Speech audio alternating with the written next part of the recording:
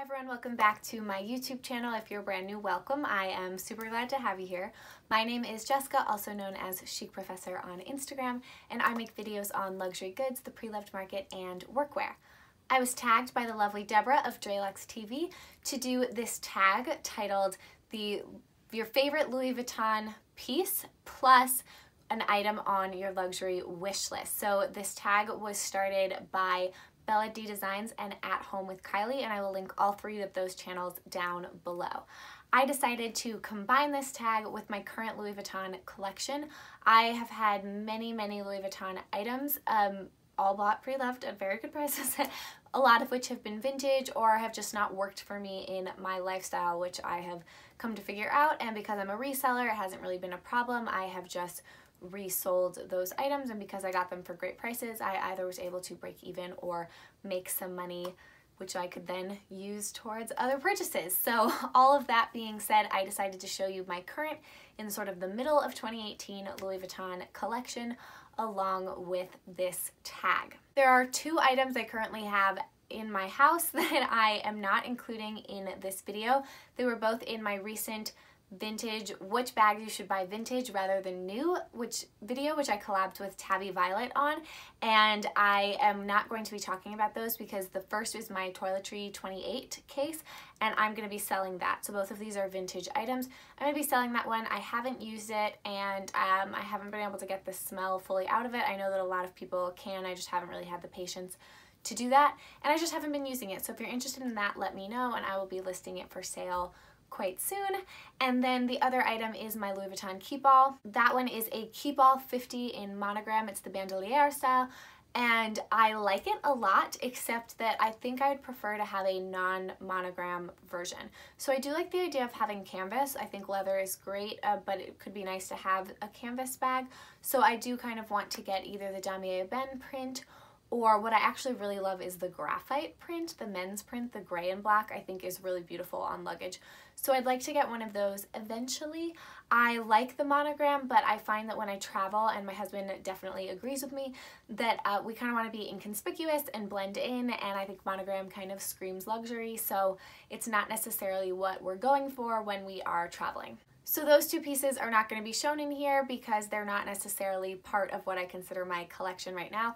I likely will not sell my Keepall until I buy another one and anything besides for the monogram is usually much more expensive.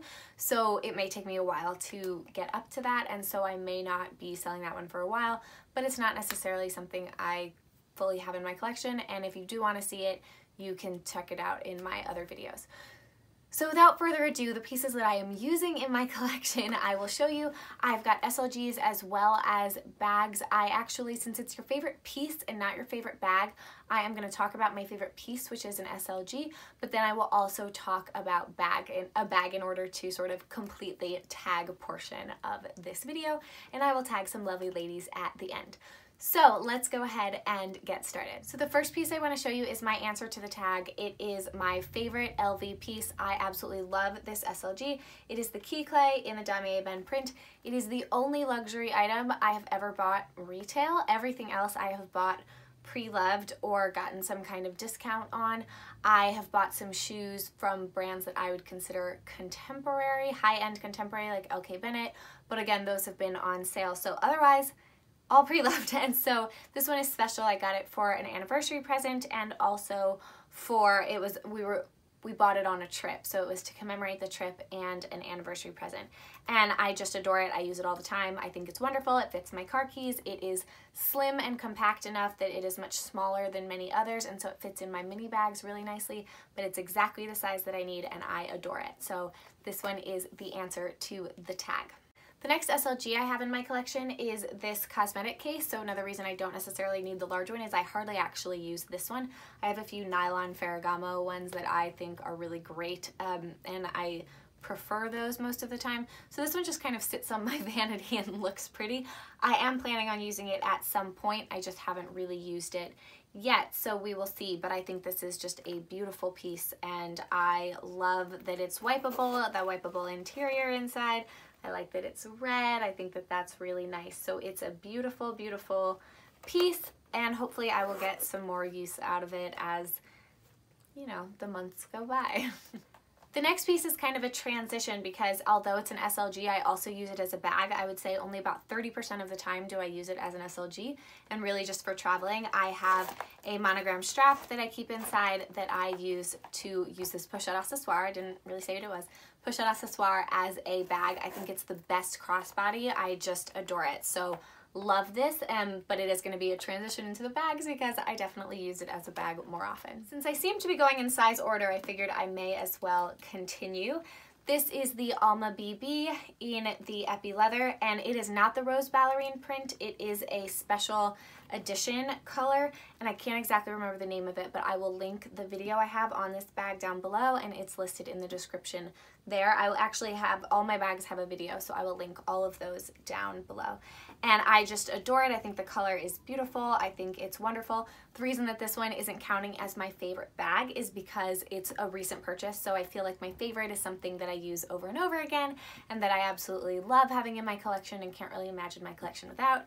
And since I went a long time without having this one, it's a little harder to say it, but I'm really pleased with it and I'm loving it so far and I think it will get a ton of use this spring and summer especially. So I am really pleased with this bag and again you'll see more details about it in the video if you want to um, know anything further about it. This next bag, which is the Neverfull in the Damier Ebene print in the MM size, I think is wonderful. Again, it's not going to be a favorite because it is new. It is the newest bag in my collection and I will link that video down below because I talked about the pros and cons and if you probably, if you're like me, you debated on the Neverfull for quite a while and so it's, it's nice to kind of see I think why someone has chosen to get it but what's also great is a lot of people wrote comments about whether they love theirs or what's stopping them from buying it and so it can be educational I think to look through the comments of that video as well. So I'll link that down below. I'm really liking it so far. I find the handles really comfortable but uh, I'll just, you can check out that video for more detail. So the last bag in my current collection, not including that Keepall, is the Louis Vuitton Brea in the Epi leather, not the electric Epi, just the regular Epi in the GM size and it's in black. This was my primary black bag before I got my Phillip Lim Pashli and I used it pretty much all winter long and I definitely used it in the fall too. I bought it last fall and it's gotten a ton of wear. I really do like it. It is not the perfect work bag because I think it just needs to be a tiny bit taller in order to fit folders and things more easily. I find the zipper can be difficult to use, but again, I have a video about it so you can see down below. And I just, I really do like it a lot. I think it's beautiful. I love the sort of Alma-esque look that's a little more fresh and a little more young and feminine, but also kind of edgy with the hardware. I just think it's a beautiful bag. So this one would win. If the tag was your favorite bag, it would be this one currently. But my favorite piece is still that key cles. I just absolutely adore that.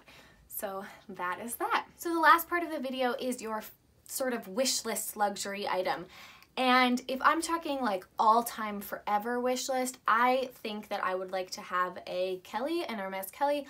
I love Grace Kelly. I think that bag is beautiful and it is, if you're going to be a handbag collector, I mean, the Kelly and the Birkin are the top. And so for me, I'm less of a Birkin girl. I'm definitely more of a Kelly lover. I don't really feel the need to have that in my life right now. I find it to be I don't really have the occasions to take it. I wouldn't really want to use it as an everyday work bag and I just don't live in a place where there's like a lot of luxury and I feel the need to dress up or even the want to do so. So that's like a very, very future luxury bag. But if you're going to talk about all time, I guess it'd be that. The bag that's a wish list item because I don't know how realistic it is, that is definitely more possible in my collection right now, would be an updated Chanel Mini. And I've talked about this in my wish list video, so I will link that down below as well. I would really like one in, I think, caviar leather with the puffed quilting. Currently, I have a vintage mini and it's kind of the flat quilting, and so I think it would be nice to have the upgraded version of that. Pre-love, they're going for like $4,000, and I'm just not at all willing to spend that or have any real want to spend that. I like my mini. I'd like to upgrade it. It's, again, a very much a wish list item. I don't need to, so we'll see about that. But otherwise, I've really gotten most of the things on my wish list, and so I'm feeling pretty content. I am still looking for a red bag, but there's not anything specific that I'm lusting after for that. So those are my answers to the tag, and I'd like to tag a few lovely ladies. So the people I am tagging, some of them love Louis Vuitton and have a ton of items and it'll be a little difficult for them to choose, though I think I could name what each of them would pick, but you know, we'll see if I'm right, I guess. But then a couple people only have a few things and one person may only have one. And so at least you can answer this tag for that. And I would love to see what your wish list item would be. So the people that I am tagging are Grace from Grace and Her Handbag, Catherine from KW Shops, Dita from The Style Synonym, Tabby from Tabby Violet, Angelique from Angelique Eva, and Mel from Mel Soldera. So I would love to see your answers to the tag, and if there is anyone else who wants to do it, I'd love for you to do it. I know Amy Elizabeth and Amy Ann were already tagged, and there's probably been a few other people as well. So let's keep it going. I would love to see your answers, and I hope that you enjoyed watching this video. If you did, please give it a like and subscribe, and comment down below and tell me what your favorite piece is, especially if you don't have a channel and you aren't, fil aren't filming the tag. Please let me know what your favorite Louis Vuitton piece is, or maybe if you don't have any, what would be your wish list item? Thank you again to Deb from Joylux TV for tagging me, and I hope you all have a wonderful day, and I will see you in a future video. Bye!